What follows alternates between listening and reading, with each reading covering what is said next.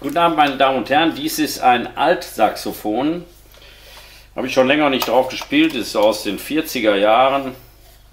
Da ist vorne ein Frauengesicht drauf eingeritzt. Deshalb wird dieses Saxophon Ladyface genannt. Ein ganz kleines Gesicht. Ich kann das mal zeigen. Hier, guck mal, da ist es.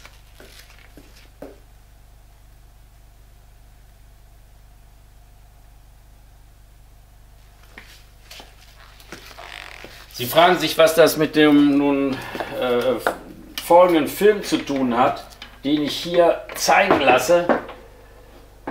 Und ich muss sagen, eigentlich nicht viel, außer dass in dem nun folgenden Film Liebe, Jazz und Übermut von Erik Ode äh, Regie, das ist der Kommissar. Ba, da, da, spielt der Peter Alexander mit, Bibi Jones, Rudolf Platte und vor allen Dingen auch, das steht hier jetzt nicht drin, äh, haben die so eine schöne Band mit Paul Dahlke am Klavier.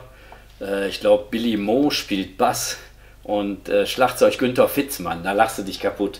Liebe, Jazz und Übermut von 1957 mit dem äußerst sympathischen Peter Alexander.